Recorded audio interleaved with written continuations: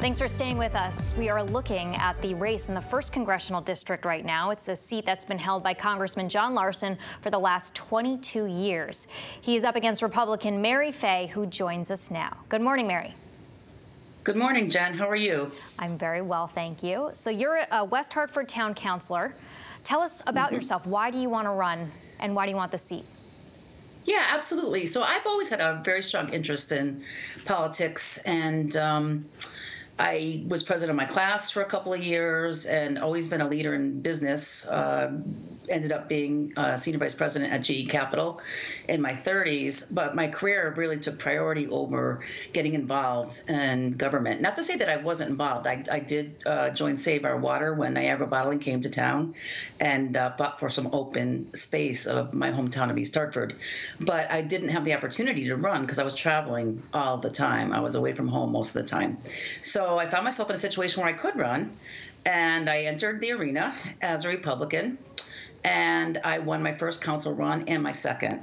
This is my fourth election in four years, so it's it's been uh, it's been pretty interesting. I'm sure. Now, does the Republican Party come to you and say, "Hey, is this a, a position you'd be interesting interested in looking at," or did you decide that you, this was something you wanted to do? Well, to be honest with you, the party approached me. So they had asked me to run for state rep uh, two years ago, which I did. And uh, that was quite a race and i did not win. I wasn't successful. That was my only one that i did not win.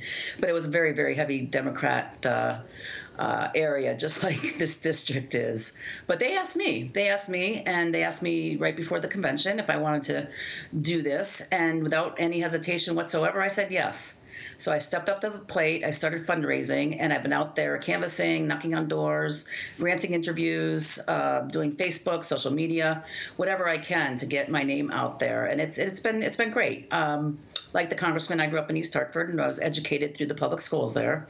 And I live in West Hartford now, but I've also been uh, you know taken to other cities like Boston, Dallas, and Philadelphia with my job. So why do you think that you could do a better job than Congressman John Larson? Look, everybody agrees that John's a nice guy, or Mr. Larson. That's what I call him, Mr. Larson. Um, Congressman Larson. He's he's he's he's nothing bad to say about him personally whatsoever. I just think it's time for a change. He's been in that seat for 22 years and Connecticut has been on the decline the whole entire time. And I think uh, we need to change direction, very much so. And before that, he was 12 years in the state senate. So I think he's had his run, and it's time for somebody else with different ideas, a different vision, and more positive energy for Connecticut to take take over. So I'm ready to do that.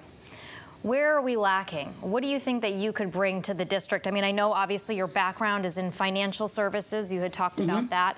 Uh, we see Pratt and Whitney in your in this district here, in your East Hartford, laying off hundreds of people. What needs to happen? Why are we behind on, on the business front? Yeah, it's, it's really sad, actually. I mean, part of the reasons that I mentioned the towns that I uh, had to commute to for work, I've always kept my home in, in uh, Connecticut. I've never left the state. But I had to commute because there aren't any jobs here. So it's I personally had to, to deal with that. So I think there's a lot we can do with infrastructure. Look, law and order is extremely important, public safety, and backing our first responders, whether they're firemen or police officers or nurses on the front line for that matter. I really don't like to see the direction we're, going into. After Sandy Hook, uh, you know, the Democrat Party now wants to take police officers out of, out of the schools. I don't think that's wise. Um, you know, I do come from a law enforcement family, New York Police Department, and I just seen what they've had to give up in exchange to keep our communities safe and I don't think we should be penalizing them the way we are. And um, you know, there hasn't been much of an outcry from Congress when 700 police officers have been ambushed, uh, either killed or, or, critically injured since the violence started breaking out. Um, I, you know, we have to stop the riots. We have to stop the um, you know, ripping off the stores and making these places into war zones. And we have to respect uh, other people's rights. And violence is not the way to do it. So I, I, think we need changes there. The economy, my lord, Connecticut has been a laggard. We have not uh, recovered since 2008. So that recession did a job on us, and it still continues. My former employer, GE, left the state Aetna's on the verge. Uh, UTC, you know, they're breaking up and they'll be located elsewhere. The layoffs are coming. And I just think we've got to reverse those trends as quickly as we can. So, whether it's investing in, in um, our defense, we need to continue to do that. Um, we need to get our financial services back up and running. We're not the leader anymore. I know we keep saying we are, but believe me, that's my business. And they're in Des Moines and they're elsewhere in the country. They're not coming to Hartford. And we need to invest in technology. So I think, you know, those are things that I would be proposing. And there's there's enough money that we can get our fair share um, in Washington and bring it back to the state and start rebuilding. How do you do that? Is it just, you know, connections in Washington? I mean, how are you going to rally to bring money that you think that Congressman Larson mm-hmm. hasn't been able to? Mm-hmm. Mm-hmm. Well, I, I, would certainly hope that I would get a good assignment. Uh, appropriations would be right up my alley. I know that's very uh, unusual for a freshman congresswoman to, to get that kind of an assignment, but you never know. Um, I think I'm very capable in that arena and I know how to navigate large institutions. Geez, GE, 300,000 people, and uh, I had to communicate with the top top, top, top, and to get things done and get my projects funded. So I've got a lot of experience with that. I bring my business savvy. Not that government is necessarily just like a business, but you know, you know how to squeeze dollars and you know how to allocate them to the proper places. And I, I just think right now we're we're in a lockjam and we have not gotten the stimulus approved. And you look around, and not only is it the big businesses like United Technologies, Pratt Whitney well, look at the storefronts, look at the restaurants, look at all the smaller businesses. 60% of people work for small business and they're shuttered. And we need to help these folks get past that. And we don't need to laden bills with pork and unnecessary things other than just get people COVID relief. You so call, let's your, just stop it. I'm sorry, go ahead. No, no, no, that's okay. I'm good. You call yourself more of a moderate Republican. Am I correct about that? Yes. I had read yes. that you had said that. Um, I'm just yeah, curious. absolutely. How would you interact with the president, and what do you think? What grade would you give the president on the job that he's done so far in the last four years? Yeah, so uh, being objective, um, you know, he's obviously a very uh, polarizing person, and uh, I think he's done a lot of good, though. I truly do. I think he's kept us safe. I think uh, before COVID hit, the economy was really doing very well. He was pro business. We had the highest employment for everybody um, whites, blacks, Hispanics, across the board. Everybody was doing better. And uh, I think he deserves points for that.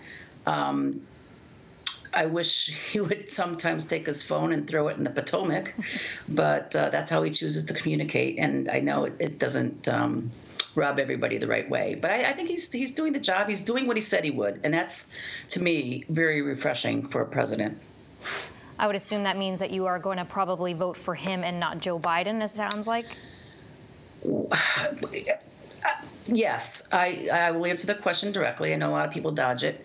Uh, look at what's just coming out on, on Vice President Biden and his son. We knew that all along, but now we're getting confirmation that there was a lot of corruption going on with Hunter Biden and his seats on the board of Burisma and some of his business dealings in China. 47 years he's been in there, and I, I don't think he's a great choice either. I actually think he's rather flawed. And if he couldn't figure out how to make government work in 47 years, why should we give him the top job and, and, and think that he'll do any differently? I just, there's too many issues with him as well. All right, on a more lighthearted note, we had talked to Congressman Larson about this before.